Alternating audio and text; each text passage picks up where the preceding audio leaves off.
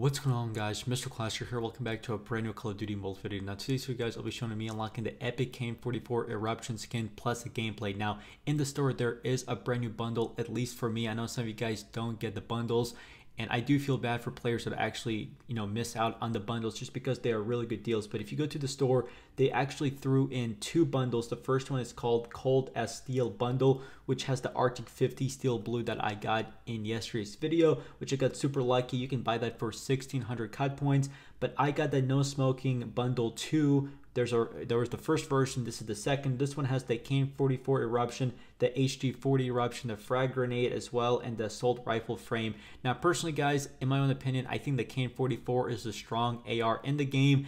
It does have a slow fire rate, so you got to be careful, you know, not you know rush an enemy. But overall, it is a really good assault rifle. So I hope you guys do enjoy the rest of the video. If you guys do, go ahead and smash the like button. That would really mean a ton. And also, if you are brand new to our channel, make sure you guys click the subscribe button for daily content and just enjoy the rest of the video.